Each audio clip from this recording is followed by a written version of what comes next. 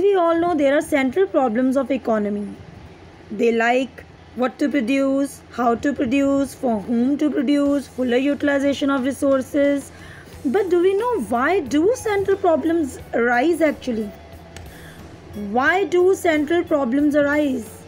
Central problems arise because there are unlimited wants and limited means. What is the meaning of unlimited wants? Unlimited wants means that people's desires never get fulfilled. They will never get enough because they always want more and would like to have which they couldn't. Right?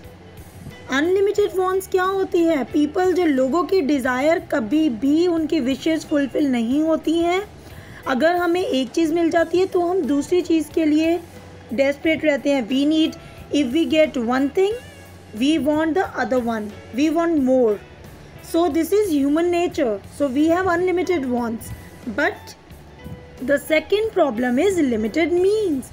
Limited means kya hota hai? Limited means that individuals have include money skills knowledge and time. People faces problem of limited means because we don't have enough money we don't have enough skill or we don't have enough knowledge and time to fulfill our wants. हमारी desires तो बढ़ती रहती है मगर हमारे जो means हैं हमारे पास वो कम है we don't have enough means to fulfil our desires